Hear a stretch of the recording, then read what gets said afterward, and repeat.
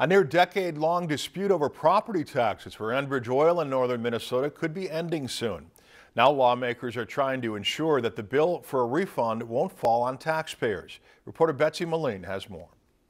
In 2012, Enbridge contested a valuation made by the state which affected the amount that they were taxed. It has resulted in an ongoing court battle that's been going on for four years. Since then, it's been bouncing between the Department of Revenue, courts, and the Supreme Court.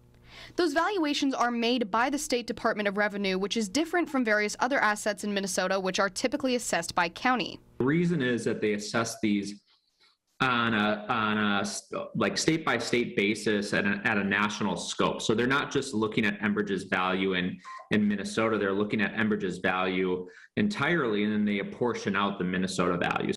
Despite the assessments being made by the state, it would be up to the individual 13 counties the pipeline runs through, as well as townships and even school districts, to fulfill an upcoming refund order if it were to pass the courts. Statute says that the counties and other government entities would be responsible for repaying this or paying back this refund within, I believe it's about 60 days. There are five years that there are disputes for, which represents a significant amount of funds, especially including interest. With the size and scope of difference um, in the assessments, this obviously has many local governments concerned that if there's going to be a refund order, um, what's this going to do to residents? What's this going to do to property tax uh, payers both now and into the future? This would affect taxpayers individually really represents a, a, potential significant impact for property taxpayers, especially the the property taxpayers in smaller like townships or cities where Enbridge represents a significant part of their market value.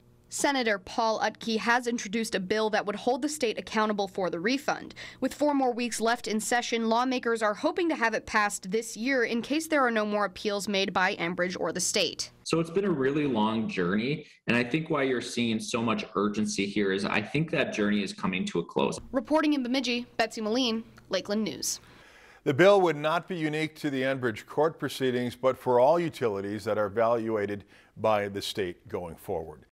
Lakeland News is member supported content. Please consider supporting Lakeland News today.